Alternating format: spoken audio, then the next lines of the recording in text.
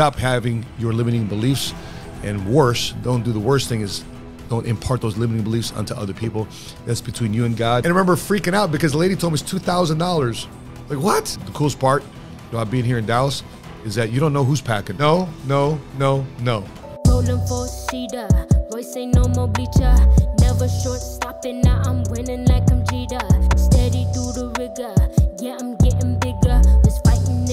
in. Now I'm making seven figures like. What's cracking, everybody? My name's Smart Guy Matt Sapaula here, hailing to you from Dallas, Texas, back from the Breakers Hotel in Miami after spending a weekend with my mentor uh, at his birthday party as well as a leadership retreat at the Breakers. So I'm here to answer your questions on what you put down on the comment in the comment section on the YouTube channel. So let's answer some of your questions. So let's go. Kiss K asks, What advice would you give a single mother of three that is having a hard time finding the resources to succeed when I have no help and can only stay home and take care of my children? How do I change my circumstances so I can be the first to break this generational curse? Gotcha. Well, you're talking to me because I was a single father at one point with three kids. Um, you know, the reality is you've got to find some way to make money. If you're all alone, I didn't have any help. The mother of my three kids wasn't helping, zero assistance, and I was refusing to ask for any government assistance. I wasn't going to the VA for anything. I wasn't going to unemployment check. I wasn't going to do any of that. For me, I thought that was just a waste of time because I could take creative use of that time and find a way to generate income. I found a way to start a business. I had found this little skill called having an insurance license and learning how to sell. I started making phone calls at home, started cranking appointments, setting up appointments. Um, and then I'd set up uh, follow-up meetings at uh, IHOP or Starbucks or wherever the case may be. And I started closing business, but I needed to find a babysitter in the meantime so I could leave.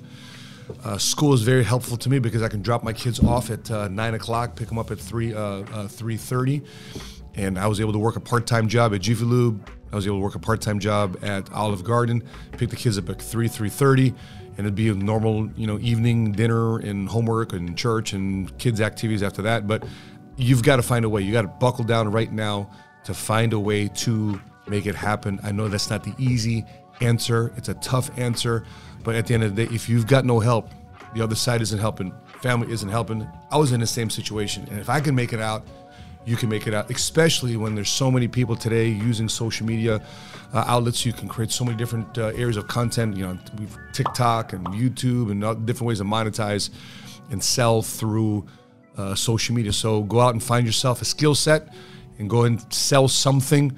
You know, uh, I sold insurance. I sold you know food at Olive Garden. You got to find a way to sell something, so therefore you can maximize the time that you have with your children. And the best part, or the hardest part, I should say, is not having your children feel that you're being disrupted. Make sure that everything's cool, everything's calm. Do not complain about the other parent. Don't complain about your other situation because then you're transferring to them what it's like to live life that mommy uh, attacks life by complaining and blaming and pointing a finger at other people. You are in a situation you're in for the decisions you've made, the consequence you got to face and deal with.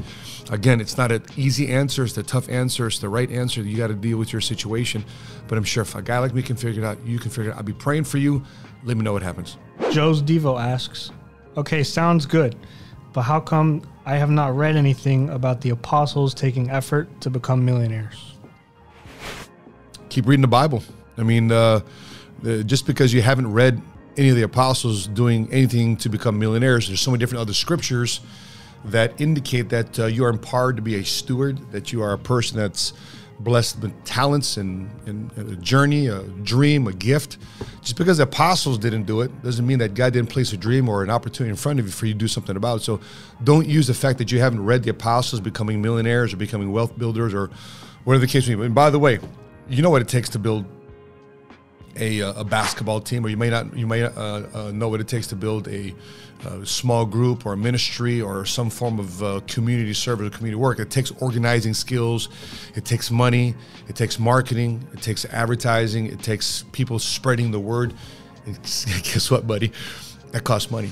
And so, even though they have no specific scriptures of apostles out there having to spend money to get the word out to spread the ministry, I'm sure in the actual reality of the execution of that work, money had to be made, money had to be spent, and uh, they had some community partners, they had some kingdom builders in the midst that were helping fund and finance their ministry to let the word of God be known. So stop having your limiting beliefs, and worse, don't do the worst thing is don't impart those limiting beliefs onto other people. That's between you and God, or whether or not you want God to to to inspire you to the next financial level of your life or not. That's between you and God. It's not for you to splash that limiting belief to other people. So we'll continue to pray for you, and I hope you continue to pray for yourself and find out where God wants to place you and use you in your life. Dwight Rivera asks, How does a millionaire think about tithing or giving, and does that play a role in a faith based millionaire's prosperity? Oh, yeah, 100%. Yeah, by the way, it's just uh, not just tithing of money, it's uh, time, it's talent, it's resources. What do you do when you get up first thing in the morning? Do you go up and just check email, check Facebook, check, check Instagram? Do you get up in a spirit of prayer and you meditate and you ask God what He wants you to do with the day that you have ahead for Him? And same thing too with your talents. Uh, are you using your talents and skills and abilities and education just for me, myself, and I? Or using that to bless other people, to give back to the community, give back to God's people? Uh, resources, which is finances, which is which is uh, you know uh, the things that you can bless your way and opportunities and doors that you can crack open for other people.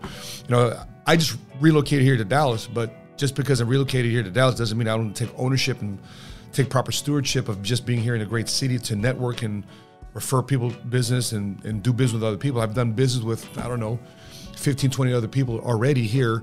Uh, not because I can buy things, because I know by me purchasing, for example, we bought two cars as soon as we got here. I wanted the dealerships to know that we're entrepreneurs in the area that we can buy cars. I wanted salespeople to know that they can come to our office, that we're here to help.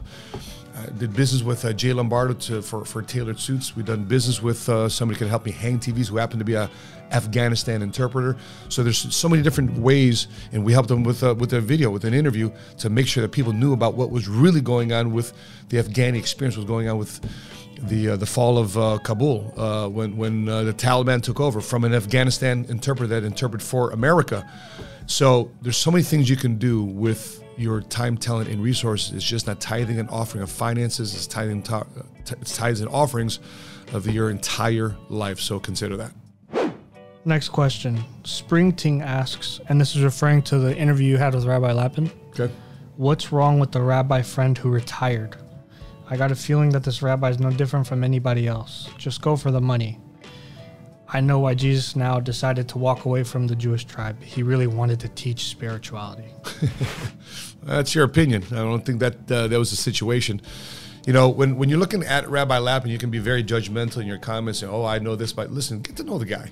I got to know the guy. My recommendation: you get to know him, you get to know certain things, and don't put a blanket statement because of Jewish people and what Jesus did this and Jesus did that. Listen, at the end of the day, Jesus still loves Jewish people. He was a rabbi himself. Okay, so when you're looking at Rabbi Lapin and his concept of retirement, that's what they're asking that question: his concept of retirement.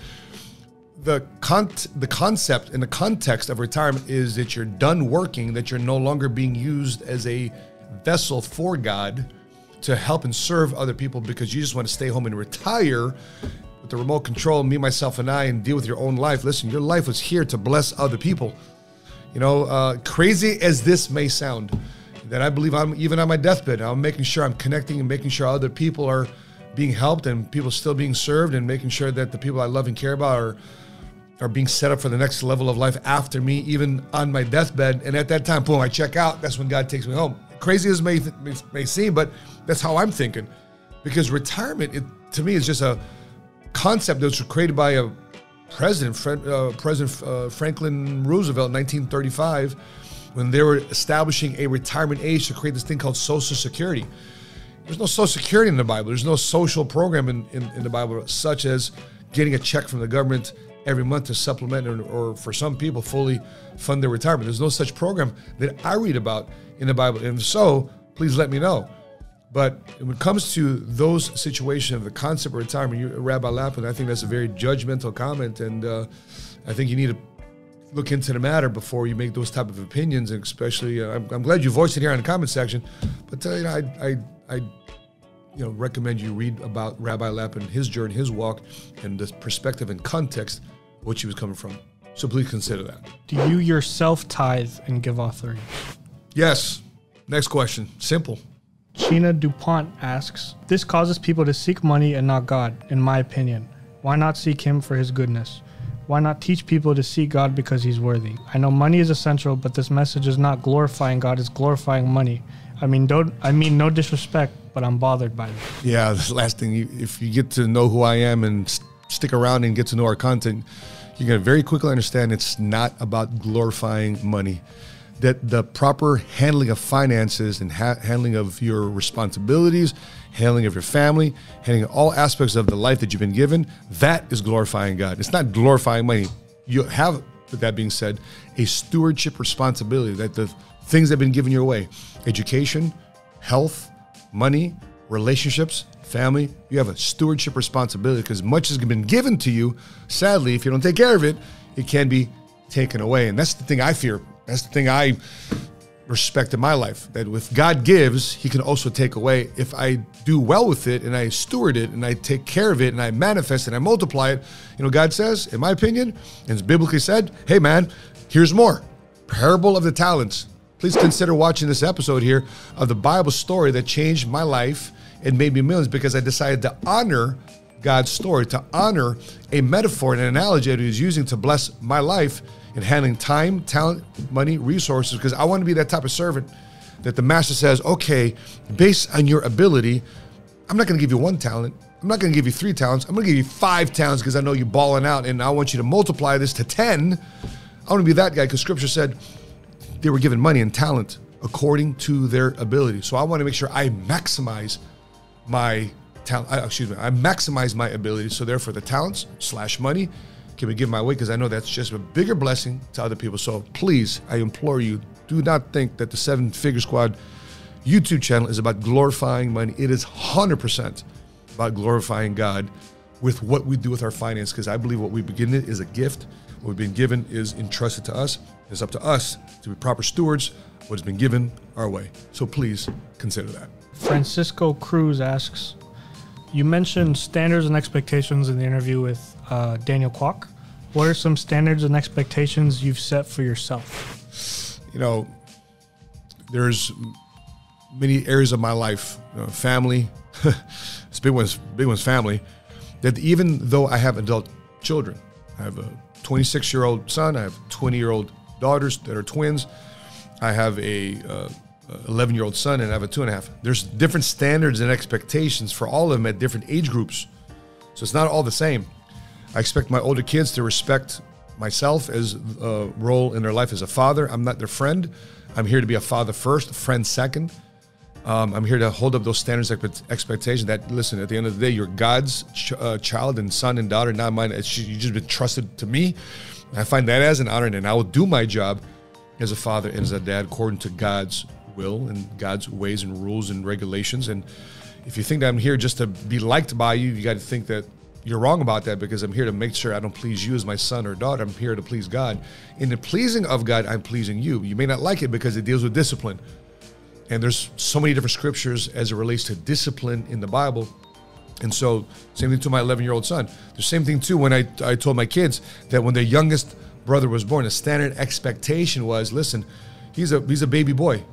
Uh, you were raised in an era where I was flat broke, building up my company. Where before I became a multimillionaire, but now that your little brother is being raised by a multimillionaire, and not the flat broke father that you knew, you can't have the same expectations and standards that you were raised with with him because I'm a different space, and that should sell you, children, that your father has an opportunity to give you uh, uh, your inheritance long before I pass away. The inheritance of wisdom, the inheritance of experiences. And if you have a business plan, I want you to live on some of this financial inheritance long before I pass away. I want to fund and finance some of your goals and some of your dreams, but you got to come together with a business plan.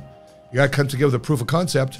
You got to come together with sales abilities and marketing abilities to make sure you get the product or service out there. Because I want to make sure I properly steward over my finances too as well. Kids, you have a different FICO credit score with me, so you know, game on. So talk to your father. So those are some standards expectations that we have inside our family. Standards expectations I have with my wife. Uh, when we're out in public, there's boundaries that she and I uh, put together to make sure that we don't violate trust between the two. We're, we're, in very much social settings that we're very careful of how we hug people because we're very touchy feely type people. That how we hug people, we don't violate and uh, violate certain standards, expectations of how we have physical contact with people in public, whether it's in fun, uh, standards expectation when it comes to uh, uh, uh, eating or drinking, those those type of things. Whether we have wine or don't have wine, uh, have dessert or who pays for the bill. Those type of standards expectations. Those just very few I've had. But I believe once you have standards and expectations in your life, you're also going to establish values and principles that you stand for, as well as love and forgiveness and gratitude. And obviously, the other part of that is skill sets that you got to establish inside your life. But those are some of the things that I have in my life that have helped me avoid a lot of unnecessary grief and attract more out of life what I look forward to experiencing. So please consider that.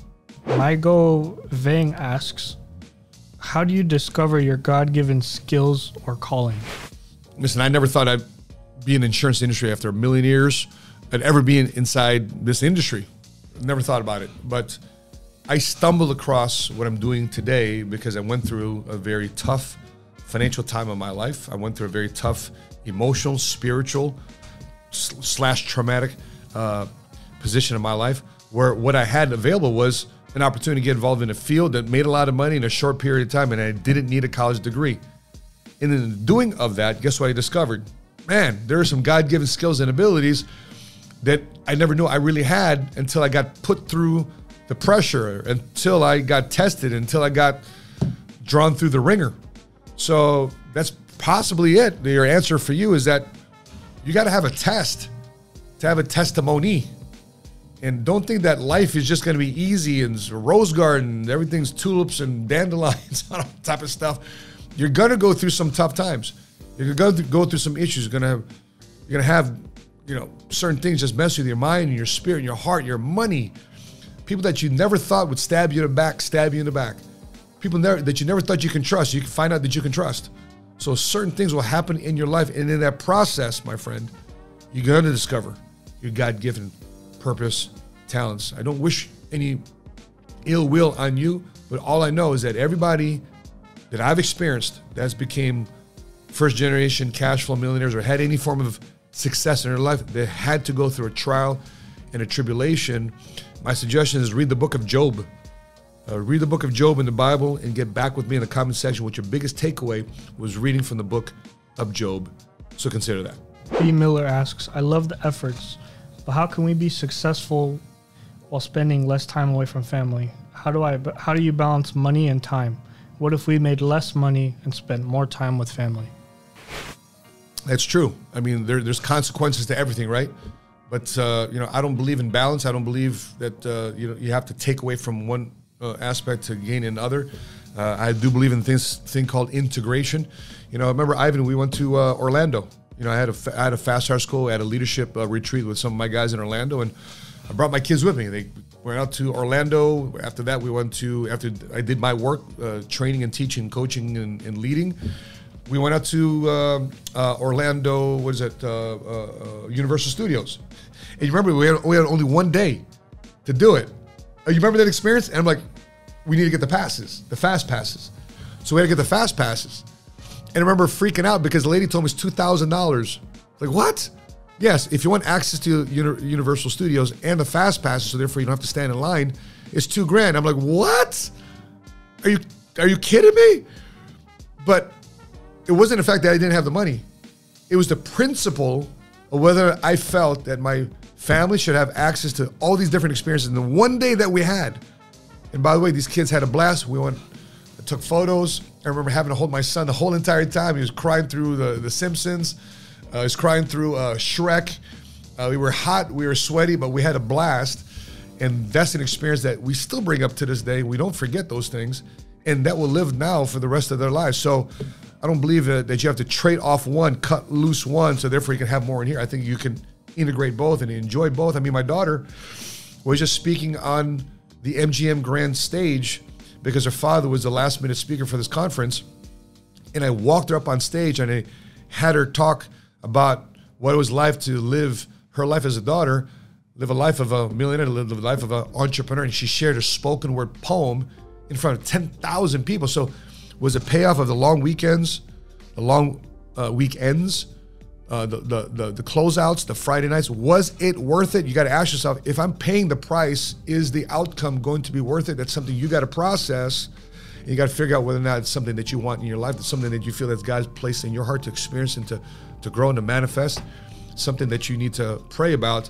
Because there's nothing wrong with having an average and ordinary life. There's nothing wrong with making X amount of. You don't have to be a first generation cash flow millionaire. I'm telling you this. But if you want access, you want the, the, the, the things that the best that life has to offer, you can't go around in life thinking that, oh, you know what, I'm going to use God as a excuse not for me to get better, invest more time in learning a skill and actually executing upon that opportunity. Um, I've just used those opportunities to grow and, and take what God has given me and to scale and scale and scale and scale and execute and experience new different levels along the way. So, uh, praying for you and your journey. So, please consider that. 20 Kevron asks, Do you still operate your business? 100%. 100%. This is my day. Uh, I'm actually staying in my office right now. This is my day job. I run a national financial service organization. I have 2,500 agents from coast to coast, east, north, south, west, midwest. We got it all. So I'm in the insurance industry and 100%. I absolutely run a business and we're just getting started. So thanks for asking. Gato Perata asks, Did you study business? Do you have a college or university degree? Please. No, no, no, no. But I did study business. Listen, I d- may not have a formal education in business, like college degree or master's degree, but I did study. I do. I did. I do study business till today. I learned a lot from documentaries, biographies. I learned a lot from case studies, and I learned a lot just from doing it and making a lot of mistakes along the way too, as well. So, you know, that's that's how I learn. It's called the School of Hard Knocks. JDC Enterprise Consulting Inc. asks, I'm from Chicago also, Cool. what made you want to make that move to Dallas and why did you feel like it was the right one? Uh, number one, I was already commuting down here. I've got operations already here in Dallas. I've been doing that for the last three years. Um, number two, uh, I just got sick and tired of the cold. I hope you can relate, man. There's nothing like uh, going outside in Chicago and it being negative 20 degrees outside, and you still got to shovel snow and de-ice your driveway. There's nothing fun about that. And plus, uh, I'm at an age right now where my achiness in my bones and my joints, for me, um, when I got to wear five different long johns and pants. It just you know it's a long waste of time. And from a health perspective, it's better for me to be here in Dallas. And number three, the opportunity here of being in Dallas, the political environment here, the fact that this is a red state, the fact that uh, uh, so many people don't jack you up about uh, whether you're vaccinated or not vaccinated, masked or unmasked, whether you vote, or not vote, you're Republican or Democrat. There's so much more freedom here that I'm experiencing in Dallas, Texas versus the areas up in uh, Chicago that I was at. And by the way, when I left Chicago, speaking of that, when I left Chicago, that night I left Chicago, this Puerto Rican couple sadly was yanked out. It made national news. This Puerto Rican couple celebrating Puerto Rican, uh, the Puerto Rican festival. It made national news. They got yanked out of the car, and in the middle of the street, they got gunned down. And so that's the type of environment I don't want my kids at in Chicago. And the coolest part about being here in Dallas is that you don't know who's packing, like you don't know who's carrying. And I think that that naturally is a deterrent for people to do to do some due process and, and thinking whether or not they can do some dumb things or not. Uh, and and not to say that's not going to happen, but uh, I feel more safer if I'm in a position where there's more people around me that's taking responsible care of their firearm uh, versus the gangsters in Chicago are the only ones with the firearms. So I love being here in Dallas. I love the, the, the weather. I love the people. I love the environment. I love uh, the fact that uh, there's no traffic. Unlike Chicago or LA or New York, nothing like those three cities. So D Town is my new home. So thanks for asking. Maybe you, you come down and visit us here in Dallas, Texas. Our new office is going to be right down the street here in Carrollton, Texas. So uh, once we post a new address, uh, we're, tomorrow we're signing our new lease and we're going to be praying about our new office before they lay down new tiles and paint and drywall. So uh, we'll keep you posted. But thanks for asking. And then the last question, which is a pretty important one. How do you define a cash flow millionaire? Cash flow millionaire, you make seven figures of income cash flow after expenses. That's how we define a cash flow millionaire. You are in control of your income coming in. Your money is not controlled because you got to buy something and sell something. Your money is not controlled by uh, it being in equity and hopefully you got to either sell or refinance something to get your millions. No, you got millions of dollars of income coming in month in, month out. And that is being a first generation, that is being a first generation cash flow millionaire. And I hope that you become one too. So I appreciate your questions. I'm here to answer them for you. Before I let you go, please check out these two other videos here where I answer your questions at the same time too as well. If you've got more questions and follow-ups to these, drop it in the comments section below. As many of you may or may not know, our next goal is to get to 150,000 subs So therefore, we can award a church charity or nonprofit $5,000 from this YouTube channel on your behalf. But we got to do that once you cross 150,000 subs. So if you haven't done so already, make sure you share these videos and you too also subscribe. That being said, here from Dallas, Texas, I'm your money smart guy. And until we meet again, continue smart, continue smart, and be money smart today.